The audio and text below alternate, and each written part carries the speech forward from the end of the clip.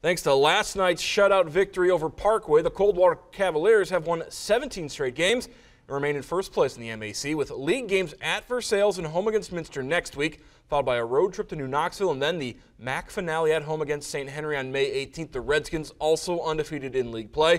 Cavaliers back at home this afternoon facing Bath. Wildcats coming off a league loss to Shawnee last night. Pick up the action in this one with Bath up 4-1, bottom of the third. Cavaliers, though, with a runner on first for Levy Bettinger. Base hit on the hit and run as Brody Hoying goes first to third. And when the throw gets away from the second baseman, Hoying alertly comes in to score. Cuts the deficit to just two runs. Later in the inning, a man on third, Drew Otten chopped a third tough hop, but Cam Clark gloves it. Throw over to first to end the inning.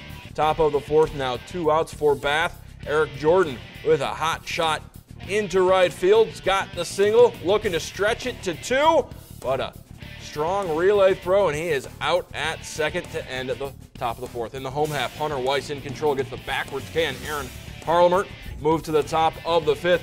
Cam Jenkins, a liner to center field, but Mitch Shanehair able to track it down to make the running catch. Later in the inning, Weiss, two out single into right field.